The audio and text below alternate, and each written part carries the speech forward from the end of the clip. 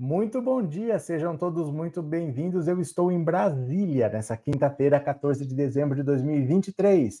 Esse é o 5 em 5, são cinco notícias em cinco minutos para você ficar bem informado, mesmo que você não tenha muito tempo. Então vamos lá, deixa seu like, se inscreve nesse canal e vamos rapidinho, porque aqui é VaptVupt, jogo rápido sem enrolação. Olha só, Dino no STF. Novo ministro vai herdar 344 ações, incluindo o CPI da Covid, Bolsonaro e Juscelino Filho. Esse aqui é o pavor, a tal da CPI da Covid, porque o relatório final da CPI foi entregue ao STF. E o STF, o procedimento deles é manda para a PGR investigar. E o Augusto Aras não fez nada. Ele ficou sentado em cima das denúncias desde 2021, não fez rigorosamente nada. Só que agora tem outro PGR, que é o Paulo Gonet. E o Paulo Gonet, depois de investigar, vai passar isso tudo para o Flávio Dino, que não vai ficar sentado em cima do processo.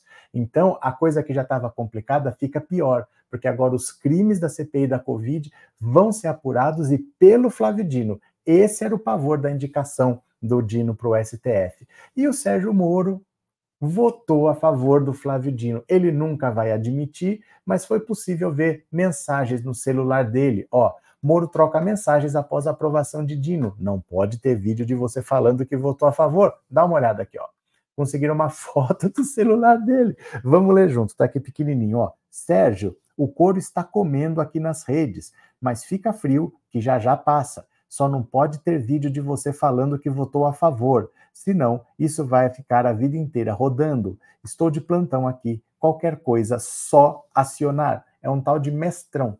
Ninguém sabe quem que é esse mestrão, o contato é um tal de mestrão, mas aqui o recado é muito claro. O Sérgio Moro, ele sabe que ele vai ser caçado. O mandato de senador dele vai ser caçado no TRE do Paraná ou no TSE, mas vai ser caçado. A chance dele recorrer é ao STF.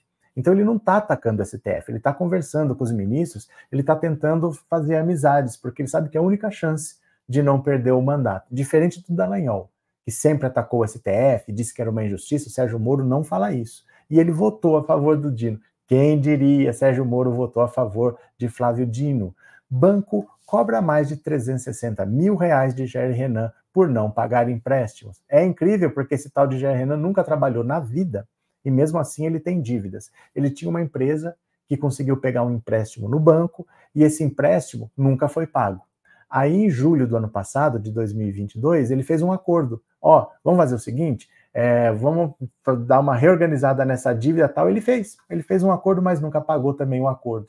Então o banco agora está cobrando 361 mil, eram 290, com juros foi para 360 e ele não pagou. Não é mais o governo Bolsonaro, não é um banco estatal, é o Banco Santander, então não tem quem segure a onda dele, ele vai ter que pagar e eu acho é pouco. Randolph, Lula tende a vetar cronograma de emendas impositivas. Funciona assim: emenda impositiva é o Lula é obrigado a pagar. Então não paga se ele quiser, ele é obrigado a pagar, mas ele paga quando ele quiser. Então não tem um calendário. O que, que o Lula faz, por exemplo? Já que eu sou obrigado a pagar, vocês não querem votar a favor do Flávio Dino? Não querem? Então eu vou liberar a emenda para quem votar.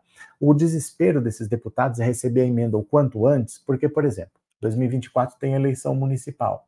Então eles querem, por exemplo, o ideal seria no começo de 2023 já libera a emenda, a emenda vai para o município, já faz uma obra, quando agora eles saem em campanha, tem uma obra bonita pronta para eles tirarem foto do lado.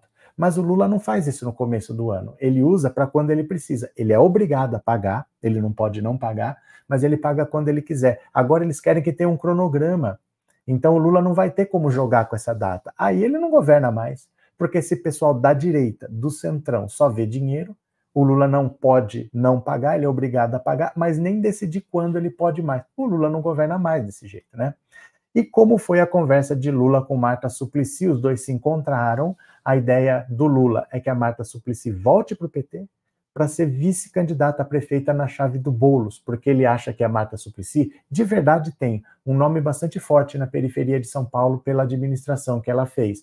O problema é que ela votou no impeachment da Dilma e saiu do PT dizendo que tinha muita corrupção. Então muita gente é contra a volta dela, mas o Lula acha que é importante que ela volte e ele quer fazer um acordo para ela voltar para o PT. Você é a favor ou contra? Por enquanto a Marta, a Marta Suplicy disse que vai pensar.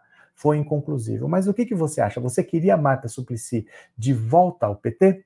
Deixa sua opinião nos comentários que eu já vou ler, tá bom? Então é isso, meu povo. Daqui a pouco a gente está de volta com mais uma notícia para você. Um beijo grande, eu já fui. Valeu!